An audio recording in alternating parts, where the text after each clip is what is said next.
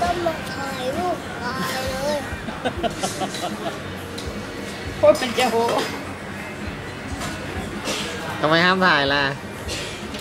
กลัวที่ไหนไหมกลัวที่ไหน อะถ่ายหัวสิงโตโนหน่อย กลัวที่ไหน